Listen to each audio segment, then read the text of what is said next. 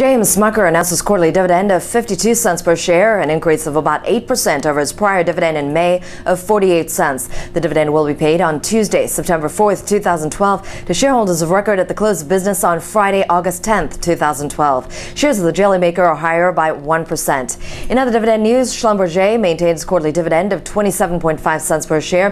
Citigroup maintained its quarterly dividend of 1 cent per share. Halliburton maintained its quarterly dividend of 9 cents per share and Morgan Stanley maintained its quarterly dividend of 5 cents per share. Among dividend increases, Kinder Morgan announced its quarterly dividend of 35 cents per share, an increase of about 9% over its prior dividend in April of 32 cents. This is Sayoko Murase for PassFail.com, taking you behind the ticker.